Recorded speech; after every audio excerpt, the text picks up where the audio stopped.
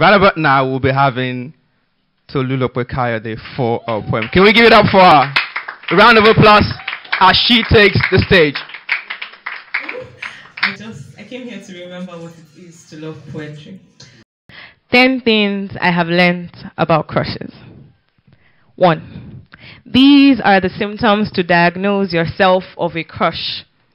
They, like a king in a palace, they have built a kingdom in your head.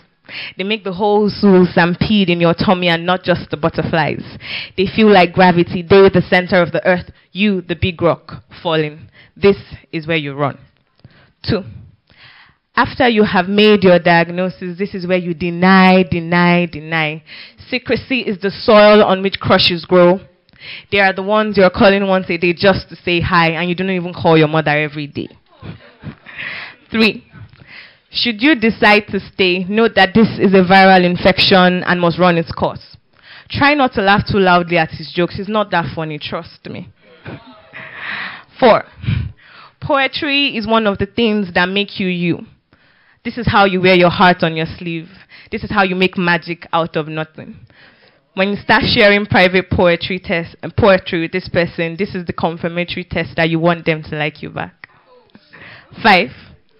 If you find a crush that vibes as you vibe, remember that fleeting feelings are fleeting, so anchor yourself. Remember all that makes you you. Remember why you are where you are. Six. A crush is just certain emotions in motions. You know how they transform to love and become a choice. It is okay to run from this one so you will know when to stay. Seven. Crushes go with playlists.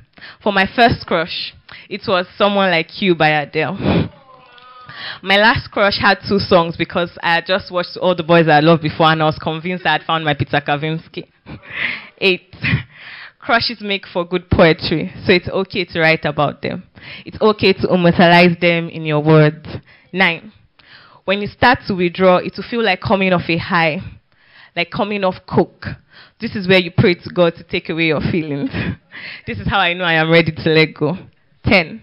When you are cured and all your symptoms are gone, I hope you have fond memories and maybe a friend too. Thank you.